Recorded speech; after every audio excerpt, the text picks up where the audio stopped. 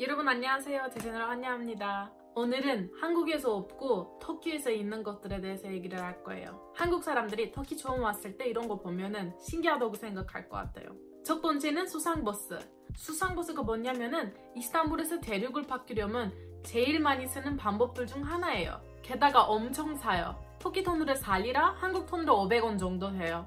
대륙을 바뀌는 거 어디서 다냐에 따라 조금 다르긴 하지만 약 15분 정도 걸려요. 정말로 터키 오시면은 경험해보셔야 할 것들 중 1등이에요. 수상버스 안에 과자나 토스트 같은 거 혹은 커피나 차 같은 것도 팔긴 해요. 대부분 사람들은 수상버스 타면은 차나 커피 마셔요. 또는 가기 전에나 배 안에서 어떤 시미트라는 빵을 팔거든요. 그 빵을 새들한테 이렇게 먹히는 사람들도 많아요. 정말 새롭고 잊을 수 없는 경험일 것 같아요.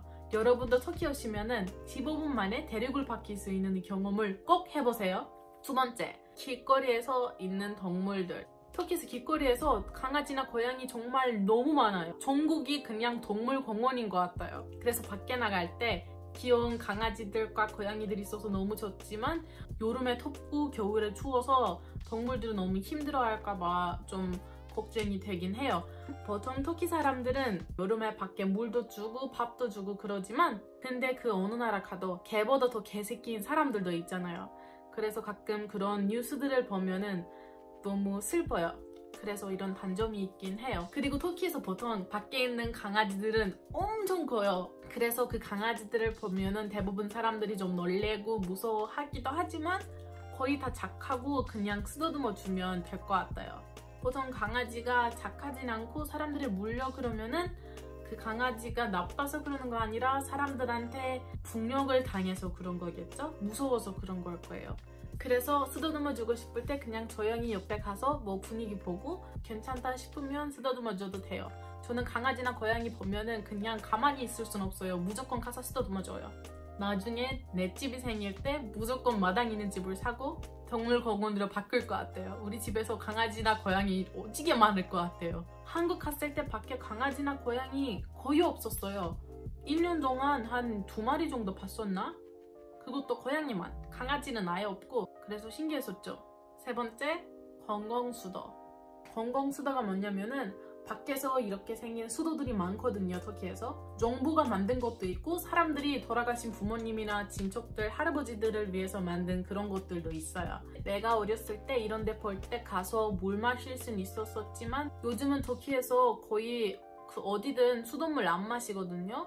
손이나 얼굴 씻기 위해서 깨끗하긴 하지만 마실 정도 깨끗하진 않다는 걸로 알고 있어요, 대부분. 그래서 터키에서 이런 거 보면은 마시지 않은 거 적겠지만 그래도 꼭 먹어보고 싶으면은 주변에 있는 사람들한테 물어보고 마시는 거 좋을 것 같아요. 아마도 근처에 있는 사람들은 그 수돗물이 깨끗했는지 아닌지 알 거예요. 하지만 이스탄불에 그런 거 보시면은 절대 마시지 마세요. 이스탄불에 있는 거 깨끗하지 않을 확률이 높아요. 다음 거는 신발 닦는 사람들?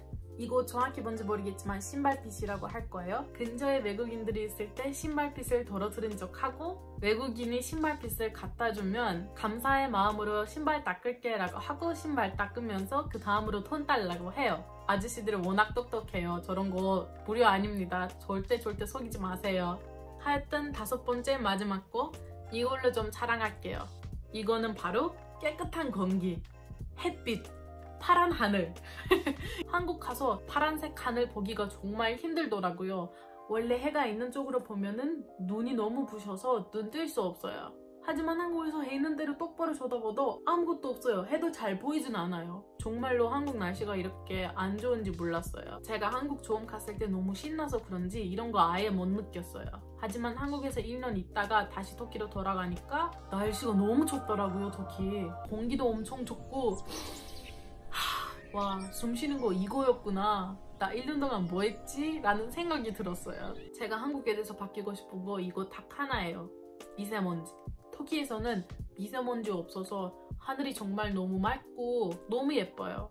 근데 한국에서 이런 하늘을 보는 거 쉽지 않았어요. 여기 하늘이 거의 맨날 파란색이지만 한국에서 거의 맨날 그레이색이었어요. 터키는 한국처럼 습하지도 않고 하늘도 맑고 날씨도 좋고 공기도 깨끗하고 아주 좋습니다. 솔직히 자랑할 거 이것밖에 없어서 이걸로 자랑을 잘 해야 돼요. 네 여러분 제 비디오 시청해줘서 감사합니다. 곧 있으면 구독자가 전명이에요. 정말 다들 너무나 감사합니다. 앞으로 비디오를 더 자주 올리도록 하겠습니다. 앞으로 구독자가 빨리 늘리도록 앞으로 구독자가 빨리 늘리도록 제 비디오를 친구들한테 추천 많이 해주세요. 여러분 정말 정말 감사합니다. 다음 주에 봐요. 안녕.